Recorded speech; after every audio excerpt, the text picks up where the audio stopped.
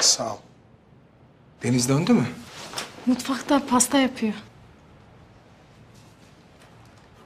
Hoş geldin oğlum.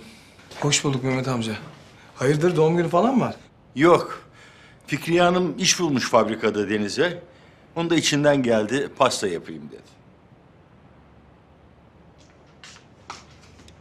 Merhaba. Merhaba. Duydun mu haberi?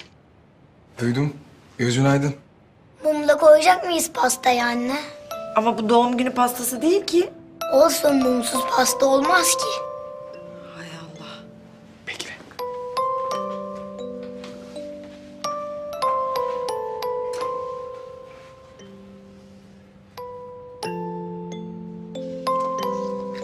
Nuh Nebi'den kalma ama idare eder herhalde.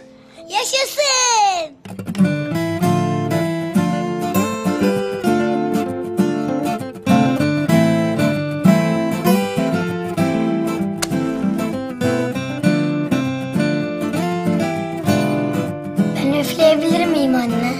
Tabii ki üfleyebilirsin. Dilek de tutacağım. Tamam.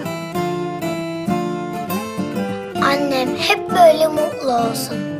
Bir daha hiç ağlamasın. Bir de babam geri dönsün.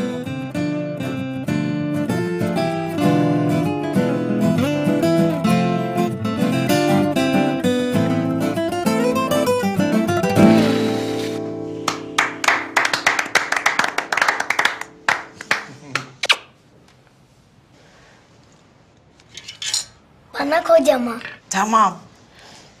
Ay Selma. Fikriye ile Cemile teyzeyi de çağırır mısın? Olur.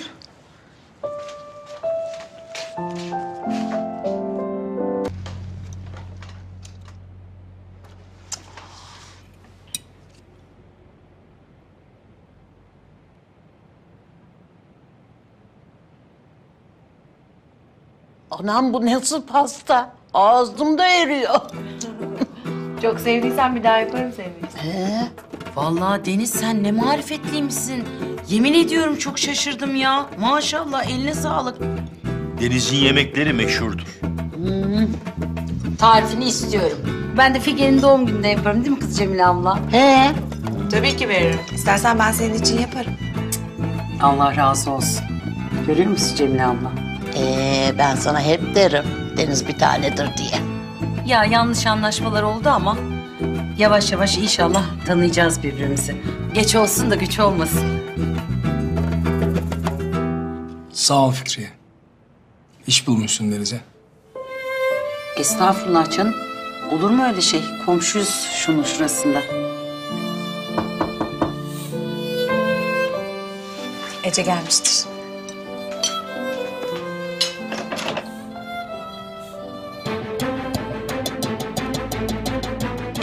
Deniz Öztürk'ün Benim. mahkemeci hakkınızda yakalama kararı var. Bizimle geleceksiniz.